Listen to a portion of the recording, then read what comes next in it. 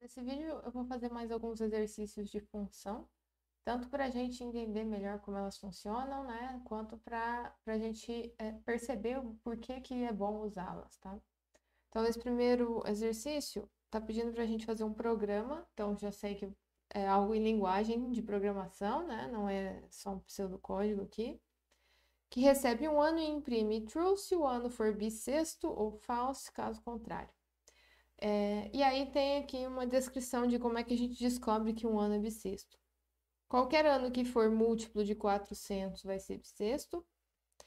E quando eles não forem múltiplos de 400, ainda tem uma chance. Eles vão ser bissextos se eles forem múltiplos de 4 e não forem múltiplos de 100 simultaneamente, certo? Então, nesse, nesse primeiro, esse primeiro aqui também é bem, é, é bem mais simples, só para a gente é, realmente ver aí porque, como, como é, dividir o nosso programa em funções, tá? Como ele é um pouco mais simples, eu já vou tentar fazer ele direto aqui no, no código, tá bom? Então, primeira coisa, né, a gente vai ter que receber um número. Então, que vai, que vai ser o ano que a gente quer testar, se esse, se esse ano é, é bissexto ou não. Então, ele é um inteiro, vai ser dado ali na, na, em uma linha, é, vai só, a gente vai só ter esse ano como entrada, então não vai ter mais nada nessa linha. Uh, então, se esse ano for uh, múltiplo de 400, então a gente já sabe que ele é bissexto. Então, que, como a gente descobre primeiro né, que, um, que um valor é múltiplo de 400? Com continhas, a, a gente tem disponível, disponível né, é, por exemplo, a função de módulo, né, de resto da divisão. Se, qual é a definição de um número ser é, múltiplo de 400? Que quando a gente dividir aquele número por 400, vai dar exatamente um valor inteiro, né? Então, ou o resto da divisão desse número por 400 vai ser zero. É, então, se... Qual vai ser a minha resposta? Eu vou fazer um teste aqui, né, para verificar se ele é bissexto. A minha resposta é, bom, se a resposta né, da, do resto da divisão do ano por 400 for zero, então eu sei que este valor é múltiplo de 400. Esse teste que eu estou fazendo aqui vai devolver true, certo? Então, já é uma forma é, de imprimir realmente a true, se, se esse fosse o nosso único teste. Mas tem uma outra possibilidade, né? Então, se isso aqui for verdade, realmente o meu ano é bissexto. Mas, se for falso, eu ainda tenho uma chance do ano ser bissexto. Então, ou eu estou testando se uh, o ano é divisível por 400, ou então eu vou verificar se ele é divisível por é, múltiplo de 4, aliás, né? Então, se ele for múltiplo de 4 é porque o resto da divisão dele por 4 dá zero. Só que, sendo múltiplo de 4, ele não pode, ao mesmo tempo, ser múltiplo de 100. Então, eu quero que ele seja múltiplo múltiplo de 4 e não quero que ele seja múltiplo de 100. Então, o resto da divisão dele por 100 não pode dar zero. É, se essas duas coisas acontecerem, então agora a gente tem este segundo teste, né? Então, uma dessas duas coisas precisa ser verdade para o meu ano bissexto. Ou ele é múltiplo de 400, ou ele é múltiplo de 4 e não é múltiplo de 100. Então, ou ele é múltiplo de 4 e, ao mesmo tempo, né, não é múltiplo de 100. Se uma dessas coisas forem verdadeiras, é, o ano é bissexto. E aí eu vou simplesmente imprimir o resultado desse teste, certo? Então, vamos fazer alguns testes com o nosso programa aqui. Eu sei, por exemplo, que o ano 2000 é bissexto. Então, já é um teste que realmente meu programa tinha que é, imprimir true, né? Um outro teste. Bom, se 2000 é bissexto, e a gente sabe aqui que de 4 em 4 anos a gente tem um ano bissexto, né? 2004 também tem que ser. Agora, um teste é, um pouquinho diferente é o ano de 1900. Né? Então, 1900 é divisível por, por 4 e é divisível por 100 também. Mas ele não é divisível por 400. Então, nesse primeiro teste, né, se eu perguntar 1900 é, é divisível por 4? Falso. Bom, quando a gente tem um OR, né, é, um dos dois precisa ser verdadeiro. Então, esse já deu falso. E este aqui também vai dar falso, porque 1900 é divisível tanto por 4 quanto por 100. É, então, esse é o nosso esse é o nosso programa, basicamente. Esse é o teste que a gente faz. Eu poderia é, fazer, escrever esse programa desse jeito, esse código dessa forma e deixar dessa forma, né? Mas o que eu quero fazer aqui é mostrar como é que a gente divide isso aqui em funções. Então, em primeiro lugar, a gente vai ter a nossa função principal. Tudo vai passar por ela, tudo vai acontecer dentro dela, né? E essa é a definição dela, e eu ainda preciso fazer uma chamada, porque veja, se eu agora só com essa definição executar o meu código, não vai acontecer nada. Não vai, vai esperar que eu, eu escreva nada, não vai imprimir nada também. E estava fazendo isso até agora pouco. Tá? Então, só não está acontecendo nada, porque aqui no nível de indentação mais externo não tinha nada realmente acontecendo. Uma definição de função nunca tem resultado nenhum, né? Agora eu coloquei aqui na linha 7 a chamada para a função main. Então agora sim vai acontecer alguma coisa, que ela fica aqui esperando se eu, eu digitar um número, né, e vai testar se o número é, é bissexto ou não. Uma outra coisa que a gente Bom, esse programa aqui é bem simples, mas eu ainda poderia usar mais funções aqui para deixar ele um pouco mais legível, talvez, né, pro, pro, pro leitor aqui, para quem está olhando para o seu código. Então, vou criar uma outra função aqui, é, é bissexto. É um nome bem descritivo, né, então, é bissexto, quando eu usar essa função, eu quero que ela me devolva verdadeiro ou falso, né? True ou false, se o ano que eu passar para ela for inteiro, é, for bissexto ou não. Então, o ano é um inteiro. O que, que ela vai me devolver? Um booleano, né? True ou false. E o que ela vai fazer é justamente esse teste aqui. Verificar se... É... Ela pode literalmente retornar exatamente isso. E aí eu substituo aqui toda essa continha por uma chamada a ela. É bissexto. E passo o ano que eu acabei de ler, tá? Então, internamente a essa função, a gente tem uma variável ano, que eu defini ela aqui, né? Declarei ela aqui. Internamente a, a, a função é bissexto também tem uma outra variável chamada ano, tá? Talvez eu pudesse até, uh, talvez a gente possa até remover essa, essa variável intermediária aqui, né? Eu só vou imprimir diretamente aqui se é bissexto ou não. Eu não preciso fazer essa, essa passagem intermediária para uma outra variável.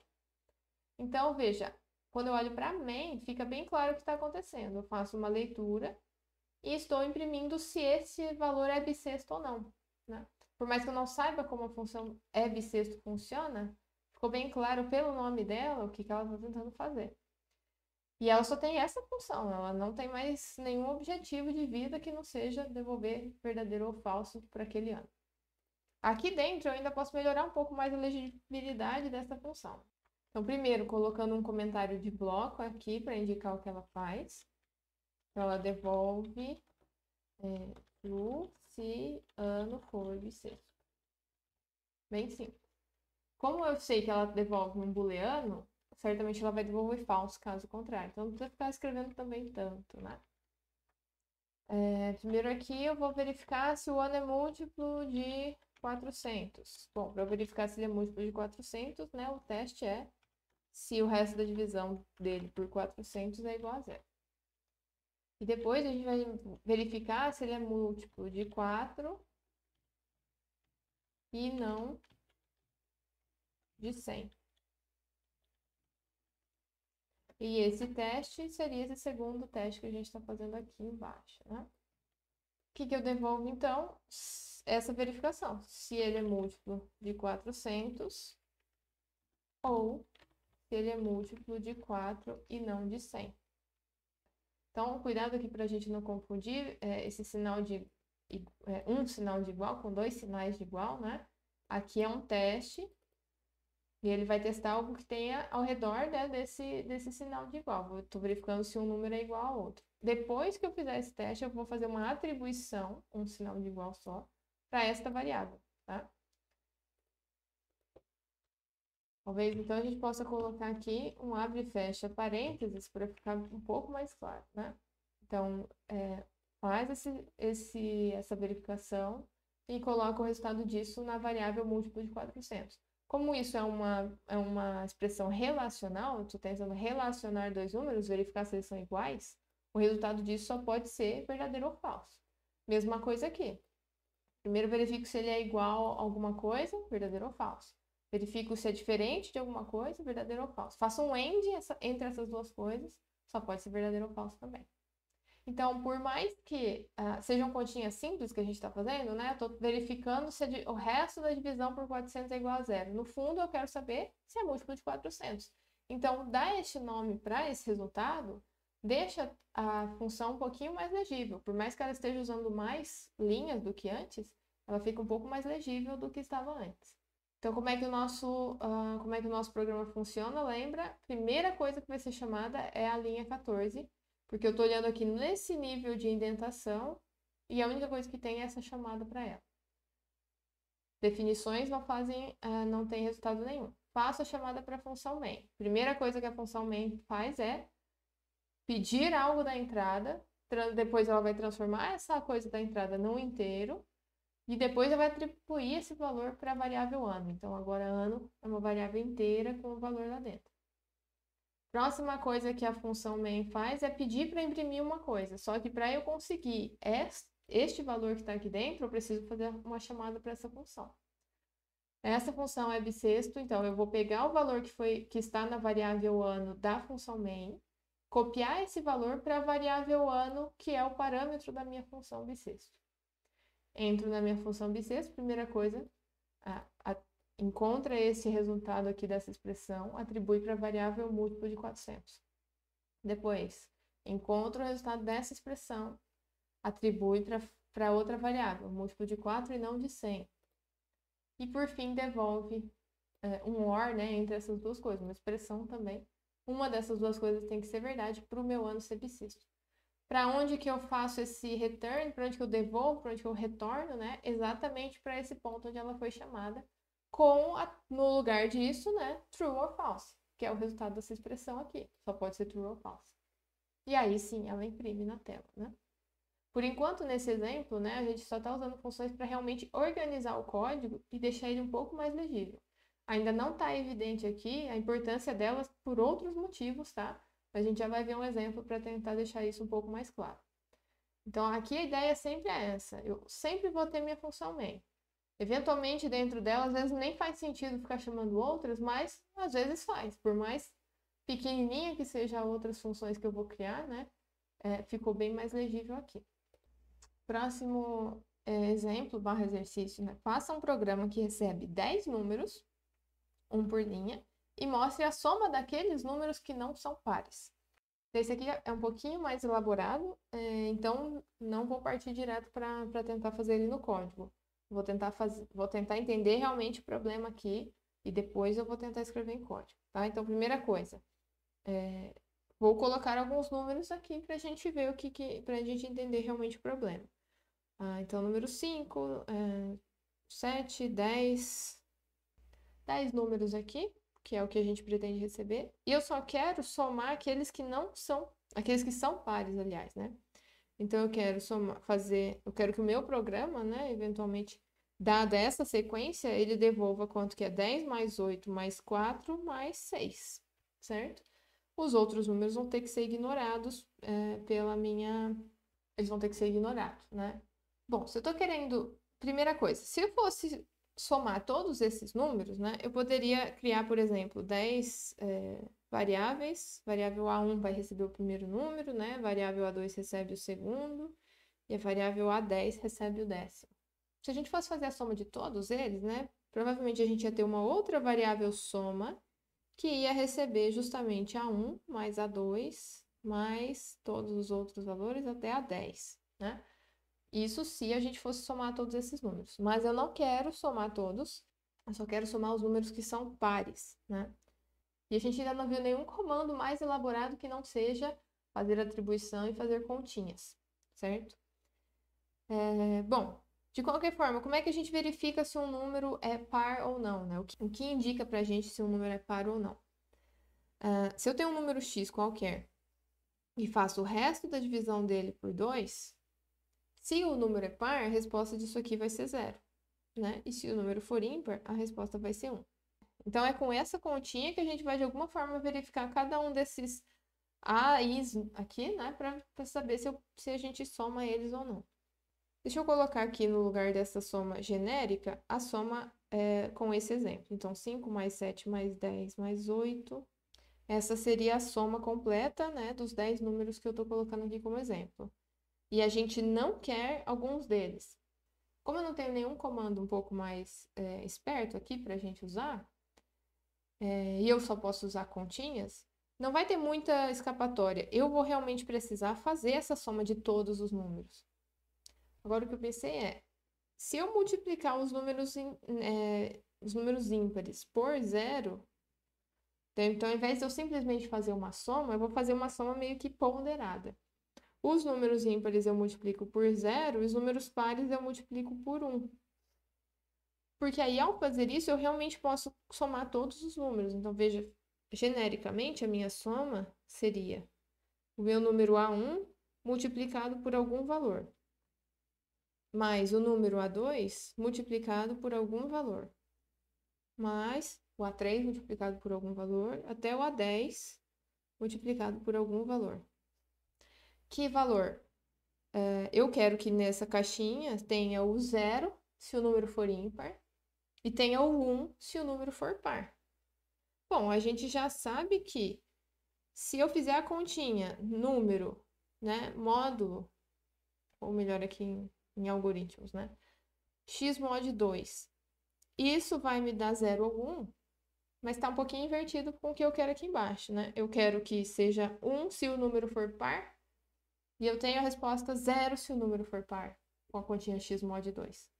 Eu quero que uh, o valor seja 0 se o número for ímpar, e eu tenho aqui uh, 1 se o número for ímpar com o x mod 2. Bom, mas então tudo bem, eu consigo inverter esse valor. Se eu fizer 1 menos o resultado do, mod, do x mod 2, aí sim, eu vou ter 0 quando o número for ímpar e vou ter 1 quando o número for par. Então, para cada um desses números aqui, desses AIs, né, na caixinha, eu vou ter 1 menos o AI mod 2. E aí sim, eu consigo só somar os números é, que são pares, certo? Então, veja, tem um problema em mãos, rabisca um pouco antes de sair escrevendo. Coloca um exemplo. É...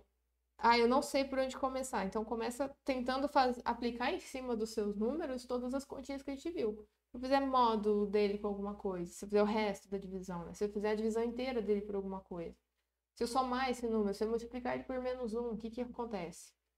Sai riscando, sai fazendo os exemplos e uma hora você vai chegar numa ideia diferente, tá? Então, agora sim que a gente tem uma ideia, a gente vai colocar ela no, no código, certo? Então, primeira coisa, né, a gente tem que ler aqueles 10 números. É, o enunciado falava que ia ser um por linha, né? Então, a gente pode fazer A1, recebe um inteiro da entrada, A2 vai receber um inteiro da entrada, A3 até o A10. A minha variável soma vai receber, então, A1 multiplicado pela, pelo valor, né, 0 ou 1, para me indicar se ele é inteiro ou não. E a gente já viu que o valor para me indicar se ele é par ou não, aliás, desculpa. Para verificar se ele é par ou não, seria 1 menos A1 mod 2. Né? Então, o resto da divisão de A1 por 2 e 1 menos isso. Uh, e nisso eu vou somar também né, o A2 multiplicado por uh, um indicador aí, né, se ele é par ou ímpar, se eu ligo ele ou não nessa soma. Então, tá aqui para todos os valores de A1 até A10, eu vou somar todos eles, uh, contanto, né, ligando apenas ali os valores que, que são pares. Uh, no nosso exemplo anterior aqui, a gente tinha 10, 6, 10, 18, 28, né? Então, deixa eu executar aqui para a gente entrar com aquela sequência, um por linha, né? 5, 7, 10, 8, 3, 4, 9, 7, 1, 6, 28, certo? Uh, significa que com certeza está certo o que eu fiz? Talvez não, talvez eu dei alguma sorte aqui. Por que que eu tô meio duvidosa aqui do que eu fiz. Porque eu posso ter inserido um erro aqui na hora que eu digitei esse monte de coisas. Tá, tá bem, bem mal escrito esse código. Tá? Então, em primeiro lugar, a gente vai fazer a função principal. Temos a função principal, ela precisa ser chamada aqui fora. Ok. continua horrível ainda, né? É, tá bem claro que eu tô lendo 10 números, não faço ideia do que está sendo feito aqui, depois eu vou imprimir essa coisa. Então, é, primeiro, se, se tivesse, se fosse um pouco mais legível, talvez essa linha não fosse tão grande assim, eu poderia só colocar um código. Olha, some todos, some todos os valores dados, mas é, multiplicando os valores ímpares por zero, para que eles não contem na soma, né? Então, minimamente colocar um comentário ali para o seu leitor saber o que você está fazendo. Mas tem muita repetição de coisa aqui. Então, imagina que eu tivesse escrito errado aqui, por exemplo, na hora de, de copiei, colei, eu esqueci de modificar um dos valores. Então, o A8 está multiplicando o resultado do A7 ser par ou não. Aí já ficou errado a minha, minha, a minha conta. E ainda assim eu poderia ter um resultado correto aqui, né? Se tanto A8 quanto A7 forem pares, né, o resultado aqui deveria realmente somar tanto A7 quanto A8, e vai somar. Mas se não for esse o caso, qualquer outra sequência vai dar muito errado, né? Então, a primeira coisa que eu estou vendo que tem repetição é que esta continha aqui é feita em todos e ela tem um, ela tem um significado muito importante, né? Aliás, a, a continha como um todo, né? Depois eu, eu descobrir se o número é par ou não, eu estou multiplicando por ele, justamente para saber se eu vou querer esse número aqui na minha soma ou não. Então, eu imaginei fazer aqui uma, uma função, e aí eu vou chamar ela de número C par. E ela vai receber um número, tá? X, vou chamar de X. Devolver um número também, um inteiro.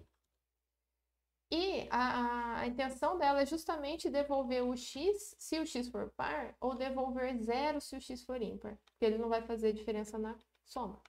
Então, ela vai devolver justamente aquela continha, x vezes 1 menos x mod 2.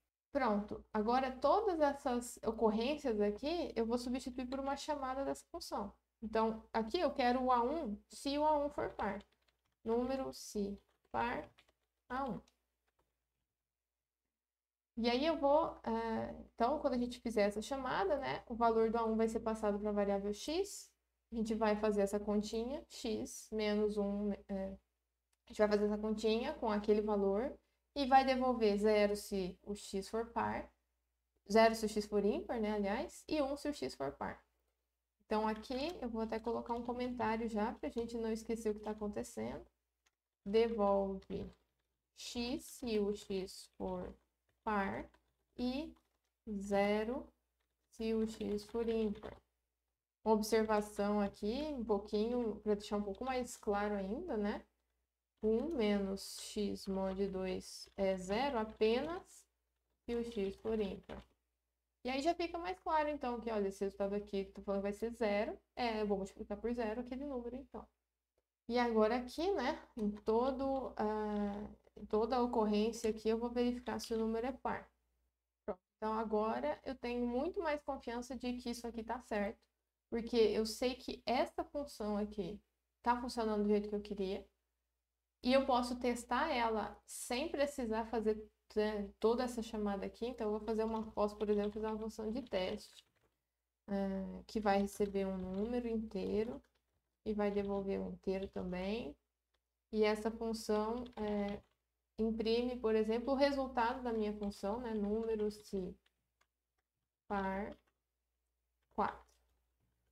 Também vou pedir para ela imprimir se o número 5 é par ou não. Ela só vai fazer isso. Ela não vai devolver o inteiro, não. Então, eu vou colocar aqui, não.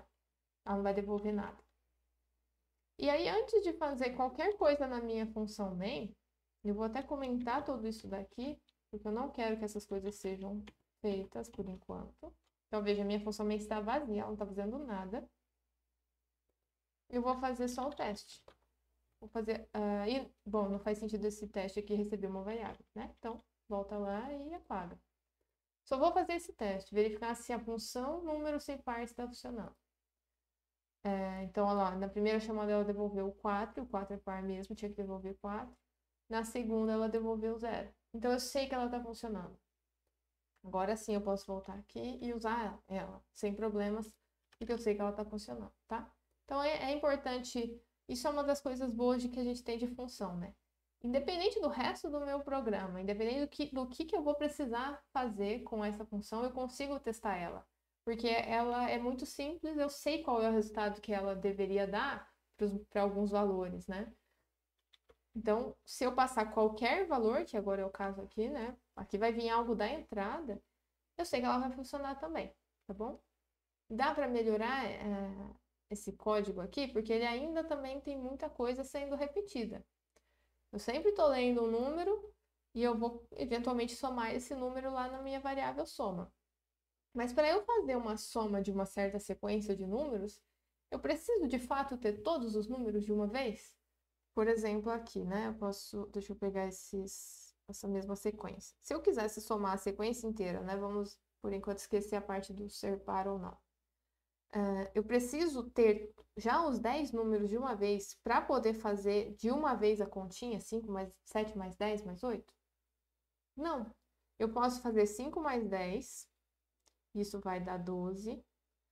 12 mais é, aliás, eu fiz 7, 5 mais 7 no começo, né? 12 agora mais o 10, que é o próximo valor que está vindo, 22. 22 mais 8, 30. Então, eu posso ir somando de pouquinho em pouquinho, e no fim eu vou ter a soma toda também. Então, eu não preciso ter os 10 números de uma vez para poder conseguir somar eles de uma vez. Então, eu vou modificar essa minha função principal aqui. Ela vai receber um número, e eu vou dar um nome para essa variável mais descritivo, num. É, e a variável soma vai receber é, justamente primeiro esse valor, só ali um valor, certo? Agora, é, na verdade, eu só vou somar se o número for par, né? Então, número se par, certo?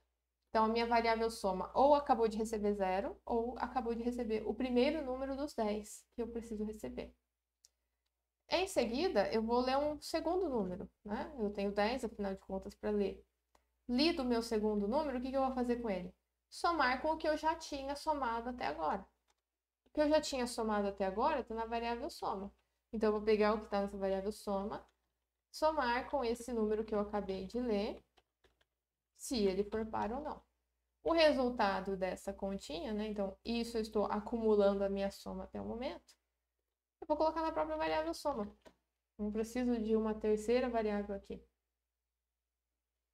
Qual vai ser o próximo passo? Eu vou ler um terceiro número. A leitura continua sendo dessa mesma forma, né?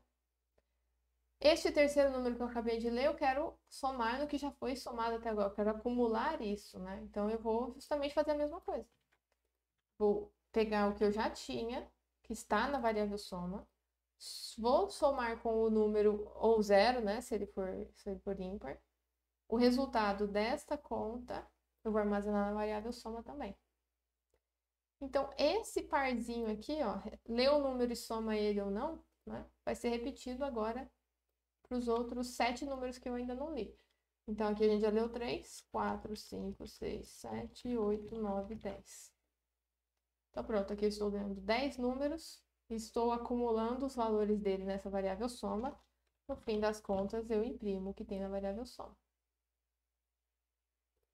Vamos ver aqui se o nosso exemplo continua valendo, né? Então, 5, 7, 10, 8, 3, 4, 9, 7, 1 e 6, 28. Então, ainda tem repetição aqui de coisas acontecendo, mas não vale a pena mais agora eu colocar isso aqui numa função. Né? Só para uh, ah, essa função ter duas variáveis, uh, duas linhas, aliás, só para fazer uma leitura e acumular o valor da variável soma não faz sentido. É esse tipo de problema que a gente está vendo aqui, que é eu estou repetindo ainda coisas, são, são linhas idênticas sendo repetidas uma certa quantidade de vezes. Para isso serve um comando que a gente vai ver daqui a algumas aulas mas até agora, para isso daqui, né, não faz sentido a gente usar funções mais. O que fez sentido usar funções foi para é, abstrair essa operação aqui, esse, essa operaçãozinha de x vezes 1 menos x mod 2.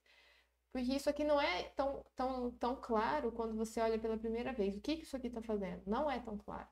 Agora, se você tem uma função número se par. E aí você olha e vê o que, que ela está fazendo. Ah, devolve X se por. Ok. Você sabe o que ela está fazendo. Aí você pode gastar um tempinho a mais para entender a continha dela. Mas mesmo que você não entenda o que essa continha está fazendo, a função está me dizendo o que ela faz. Eu, eu coloquei um comentário explicando o que ela faz. Então fica muito mais claro o que está acontecendo no decorrer da, do resto do código, certo?